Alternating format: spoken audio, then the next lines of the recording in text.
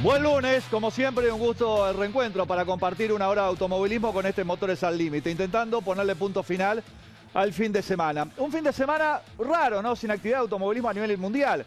La Fórmula 1, el último fin de semana del mes de agosto, va a reiniciar su segunda parte de la temporada. El rally a nivel mundial se fue de Finlandia y se va para Acrópolis, Grecia, otro de los grandes clásicos del rally a nivel mundial, mientras que el motociclismo a nivel mundial, nuestra columna vertebral en cuanto a la información este mundial, el próximo fin de semana va a estar en el Red Bull Ring Racing en Austria para también el arranque de la segunda, atractiva segunda parte de esta temporada 2024. Sí, automovilismo a nivel nacional. La única actividad fue el Club Uruguayo de Pilotos de Autocross en Sauce, departamento de Canelones. Tuvo todo el Cupa. De todo tuvo el Cupa. Pero tenemos buenos animadores y protagonistas para que nos cuenten y profundicen algo más de lo que dejó el Club Uruguayo de Pilotos de Autocross en su hábitat natural en una nueva carrera de este 2024. Por otro lado, clásico fin de semana de, uruguayos en el exterior. El TC2000 estuvo en Río Cuarto, Córdoba. No fue el mejor fin de semana, no fue el mejor fin de semana para el sanducero, el ex superturismo Juan Ignacio Tesque. Si bien anduvo bien en la carrera el sábado, después se retrasó, el domingo termina con abandono, así que bueno, no cierra de la mejor manera. Pero claro, pronto tiene la revancha porque va a ser la próxima, el TC2000 va a ser ahí en Concordia, litoral oeste, frente a Salto. Ahí va a tener la revancha en, un buen arranque que tuvo Juan Ignacio Tesque en este Turismo Competición 2000 de la República Argentina. Más uruguayos en el exterior. En Chile, el Rally de Chile, segunda victoria consecutiva. Segunda victoria consecutiva en un rally muy exigente, sumamente competitivo, como lo es justamente el Trasandino, que es la próxima carrera conjuntamente con el Campeonato del Mundo de la Especialidad. Y ahí estuvo Juan Ignacio Gardiol Dos victorias de manera consecutiva. Va a estar con nosotros aquí en este lunes recién llegado del país trasandino, en este lunes de motores al límite. Ingresamos en el mes de agosto.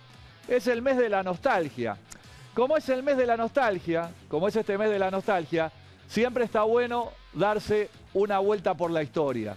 Y para hablar de la historia, si bien disfruto de lo personal, disfruto mucho lo que es el, el presente de nuestro automovilismo, sí lo disfruto mucho. Pero hay que valorar, respetar y conocer y cada tanto repasar, y cada tanto repasar la rica historia de nuestro automovilismo. Nos vamos a dar una vuelta y vamos a estar hablando con Diego Viverito. Si bien la foto ya se imagina, vamos a hablar algo dentro de muchos temas de Pedro Pasadori, aquel salto a la vida, aquel accidente de Rafaela, su victoria acá en el Autódromo del Pinar. Linda vuelta por la historia nos vamos a dar acá en este lunes ingresando en este mes de agosto, en este mes nostálgico. Ahora sí, ponemos primera y estos son los avances de este lunes de Motores al Límite. Y el Club Uruguayo de Pilotos de Autocross estuvo en Sauce, departamento de Canelones, en su hábitat natural para lo que fue una nueva carrera del campeonato. Tuvo de todo, estuvo picante. ¿eh? El domingo del Club Uruguayo de Pilotos de Autocross con todas sus categorías, algunas categorías con eh, pilotos invitados, así que bueno, vamos a estar repasando en este lunes lo que dejó el fin de semana del Club Uruguayo de Pilotos de Autocross. Clásico fin de semana de uruguayos en el exterior. Séptima del año para el TC Pickup en el Autódromo de La Plata, provincia de Buenos Aires. Victoria de Valentín Aguirre. Séptimo lugar para Mauricio Lambiris, que no encuentra el rol protagónico en el TC Pickup y un nuevo abandono del pandense Edimión. El TC Pickup pasó por su séptima carrera en La Plata. Por otro lado, sexta del año para el Turismo Competición 2000 en una provincia de Córdoba, en Río Cuarto, Córdoba, que vive el automovilismo de una manera muy especial. Victoria de Leonel Pernía, segundo lugar de Matías Leonardo Rossi claro, cuando se juntan dos buenos estuvo lindo, estuvo entretenido el espectáculo del Turismo Competición 2000. Completó el podio Facundo Aldriguetti, que había ganado el día sábado. Hablando del sábado, en un momento estuvo en el segundo lugar el sábado y estamos hablando de Juan Ignacio Tesque, que el domingo terminó con despiste, plan retorno, ay, un tanto triste para nuestro compatriota que lamentablemente abandonó en esta presentación. La sexta del año para el TC2000 que pasó por Río Cuarto, Córdoba. En Chile, ahí estuvo el rally chileno. Segunda victoria manera consecutiva para Ignacio Gardiol que hoy nos visita en este lunes de Motores al Límite. Fin de semana clásico de uruguayos en el exterior. Así que acá están, estos son los títulos de este Motores al Límite que ya comienza.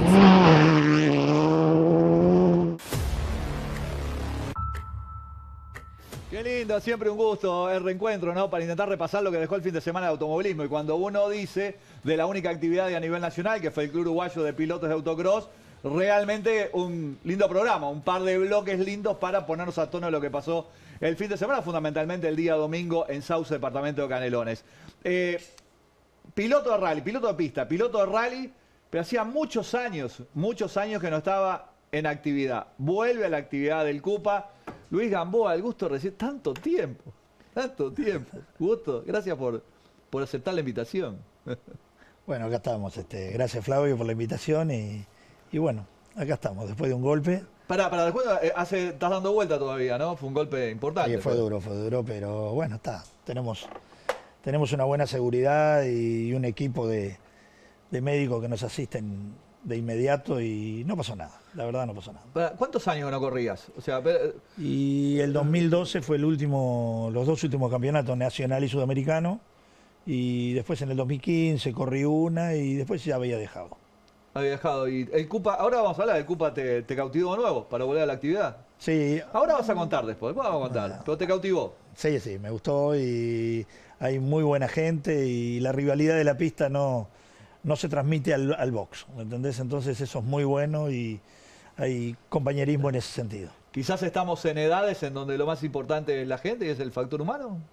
Sí, sí, a mí sí, a mí me, me, me llena mucho eso, ir con la familia, ir con Claudia, con Guille, con Nico, los amigos que van.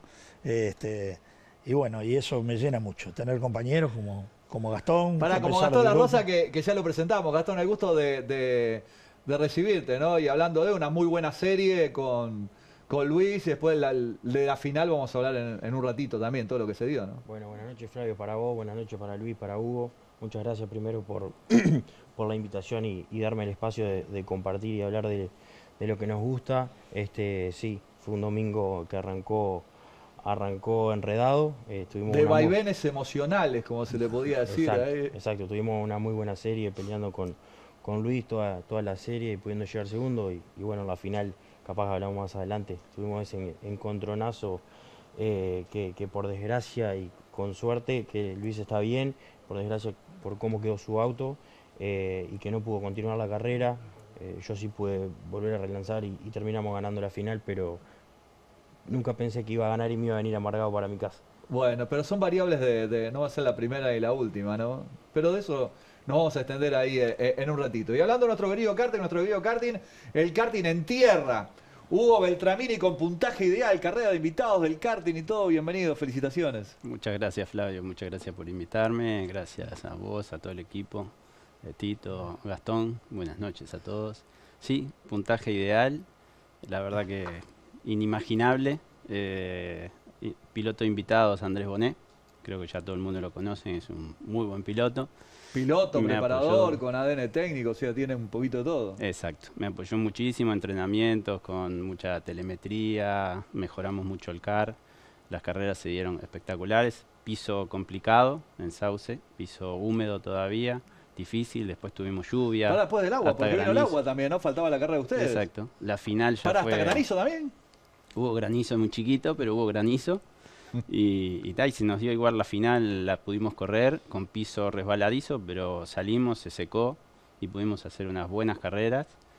Eh, y bueno, hicimos primero, primero y primero la Primero, final. puntaje ideal. ¿Cuántos años en el, en el CUPA? Solo dos años Para, y medio. ¿Dos años de carreras? ¿Y cómo, cómo te enganchaste en el...? Eh, familia ya de, de, taller, mi padre mecánico. Ah, un ADN eh, fierrero, bien sí, ahí, sí, técnico, sí, como digo. Yo estudio más de ingeniería, no, nunca fui muy de fierros, pero sí el automovilismo me gustó. Eh, el CUPA, la verdad que el grupo humano que tiene el CUPA es espectacular. Lo que recién decía Luis. Eh, exacto, exacto. Y entonces mi hermano entró, yo entré, y siempre hay alguien para darte una mano, para recomendarte. Eh, pude conseguir un buen chasis que era de pasadores, el chasis que yo uso del de, de CART, un CRG italiano de pasadores, que ayudó eh, lo pudimos poner a punto y bueno, el año pasado terminamos vicecampeón y este año vamos sumando puntos. Sumando puntos, bien. En el caso tuyo, Gastón, ¿cuánto tiempo en el, en el CUPA? ¿Hace eh, años? Sí, años. Eh, en actividad quizás son cuatro, pero siempre estuvimos con mi padre armando algún auto que otro. Porque también tiene tu papá un, un mi ADN. Pa, mi padre sí, es mecánico, es, es preparador. ¿Es el que te hace tu auto también? Es el que hace y hizo mi auto de cero, es un auto nuevo que lo fabricó él. Eh, y obviamente es el que carrera a carrera lleva adelante la preparación y, y, y, la puesta a punto de todo el auto. Eh, para cerrar este el bloque, también recién estaba hablando contigo, Luis. Eh, la pista, el rally, te tuvo todo como animador, protagonista, técnico también. ¿Qué año arrancaste la primera rally? ¿La pista o en el rally, rally No, arranqué en el rally. En el rally, en los tiempos de Vita, de. ¿70 y algo? Sí, en el 80 y 81, 80 por ahí. 81. Claro, porque la Fórmula Renault fue en el 82, fue un cachatito antes de ahí en el. Estaba ahí yo en eso y arranqué sin saber nada, sin hacer nada, haciendo un aprendiz de mecánico y bueno. Pero pará, eh, estás como la propaganda de un whisky muy tradicional, pasan los años y seguís tan campante, o sea, estás como... me sentí bien, este año me sentí bien, me, invitaron a la carrera de la primer, la, segunda fecha que era de invitados. Pará, ahora contás, estamos con Luis Gamboa, estamos con Gastón La Rosa, estamos con Hugo Beltramini, que tuvo puntaje ideal a lo largo de este fin de semana de karting, vamos a estar con Ignacio Gariol también, victoria en Chile, recién hablaba con Luis, no, no es fácil ganar el automovilismo afuera, no es fácil, hoy ganar no es fácil de ningún lado. Ganó y en este mes de agosto nos vamos a dar una vuelta con, por la historia con, con Diego Vigorito. Pausa muy breve y ya seguimos en este Motores al Límite el día lunes.